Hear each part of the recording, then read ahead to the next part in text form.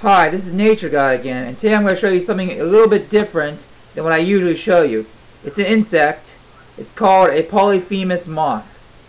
And I just collected one last night. They're nocturnal. It was by light, so I collected it. Here it is.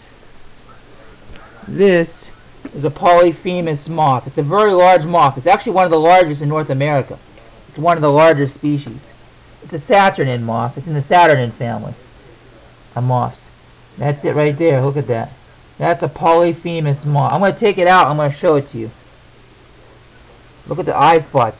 If you look really close, you can see there's eye spots on it.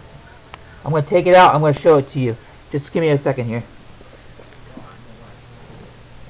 It's a polyphemus moth. Look at how beautiful it is. Look at the coloration on it. I'm trying to handle it, but it's very flappy. It flaps a lot. But there you have it, folks. That's a polyphemus moth. Look at that. Beautiful moth. Yeah, it won't let me hold it. These are nocturnal. They have powder on the wings. They're actually small scales. They actually came off, though, when I grabbed it. It got a little ripped up, but I'm going to put it in a frame. I'm going to display it with my other collection. I have other collections here. See, I even have an Io moth right there. So I'm going to put it in one of these frames where I can uh, view it for my room decoration.